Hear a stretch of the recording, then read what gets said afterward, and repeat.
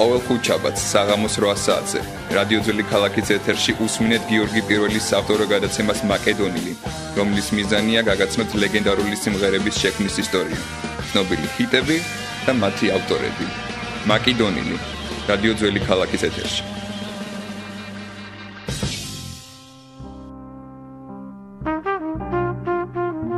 მოგესალმებით. მე ვარ გიორგი პირველი და თქვენ უსმენთ ჩემს ავტორო გადაცემას მაკედონილი. რიგით მესამე გადაცემაში ვისაუბრებ რიჩარდ როჯერსის დაწერილ კომპოზიციაზე, რომელსაც ტექსტი მოუფიქრა ლორენც ჰარტმა. ეს სიმღერა გახლავთ My Funny Valentine. როჯერსი და ჰარტი იყვნენ ამერიკაში ერთ-ერთი ყველაზე პოპულარული და წარმატებული სიმღერების ავტორები. მათი მრავალი სიმღერა გამختარა ჯაზ სტანდარტი. გარდა My Funny Valentine-ისა აქვს ისეთი სიმღერები, როგორებიც არის Blue Moon, Here in My Arms, Isn't It Romantic და მრავალი სხვა. My Funny Valentine არის სიმღერა, რომელიც გულგრილს არ დატოვებს შეყვარებულ ადამიანებს და უბრალოდ ხალხს, ვისაც ჯაზი ძალიან უყვარს. ტექსტის სიმღერაც განსაკუთრებულ ელფერსენს, აქ მამაკაცის სიტყვებია ქალისადმი. Is your figure less than Greek? მის ხელს ადარებს ანტიკური საბერძნეთის ქანდაკებებს და რიტორიკულად ეკითხება თუ რით არის ის ქანდაკებები მის ხელზე მეტი. რაც შეეხება შექმნის ისტორიას, სიმღერა შეიქმნა 1927 წელს სპექტაკლ Babies in Army-ისთვის. სპექტაკლი დაიდგა შუბერტის თეატრში ნიუ-იორკში 1927 წლის 14 აპრილს და ნათამაშები იქნა 299 ჯერ. სანამ არ გადაიტანეს დიდებულ თეატრში იმავე წელს 25 ოქტომბერს. სიმღერას ასრულებდა პერსონაჟი ბილი სმიტი ვალენტინისთვის. ბილი მას ეხუმრება, მაგრამ ამასთანავე ამტკიცებს, რომ ვალენტინს მისი გაღიმება შეუძლია, რომ არ უნდა ის შეიცვალოს. სიმღერა ძალიან ნაყოფიერი გამოდგა გარდა 50-იანების დასაწყისისა, როდესაც ნიუ-იორკში ბარების უფროსებმა აკრძალეს, რათა თავიანთ ბარებში არ ემღერათ მუსიკოსებს. My Funny Valentine-მა გვიჩვენა, რომ ის არის იმ სასიყვარულო სიმღერათაგანი, რომელმაც დროს გაუძლო ვინაიდან და რადგანაც ის 600-ზე მეტმა არტისტმა შეასრულა და გამოჩნდა 1300-ზე მეტ ალბომში.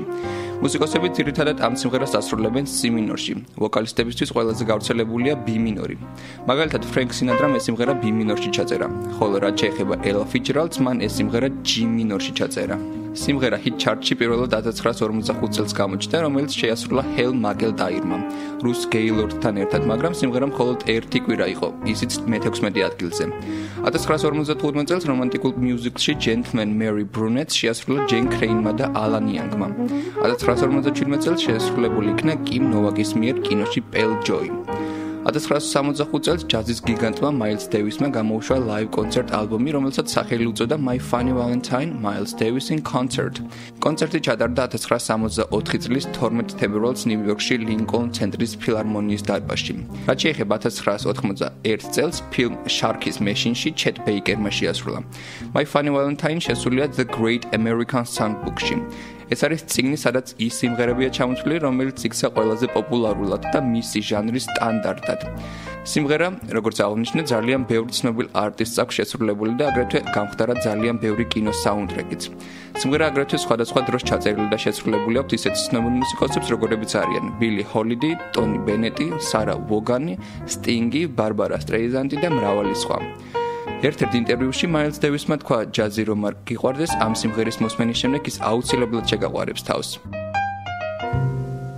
My funny valentine Sweet comic valentine You make me smile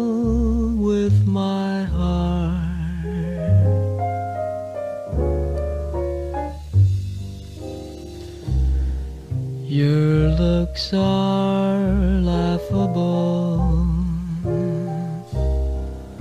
unphotographable. Yet you're my favorite work of art.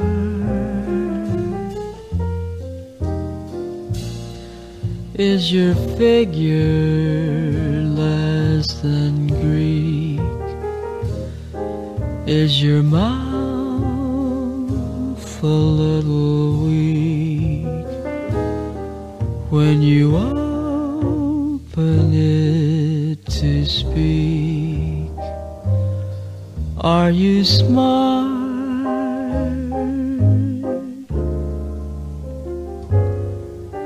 But don't Change your hair for me.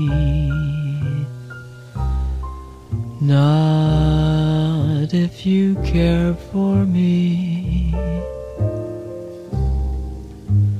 Stay, little Valentine. Stay.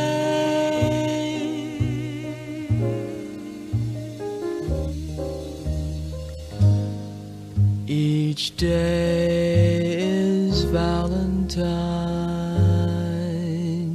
Day.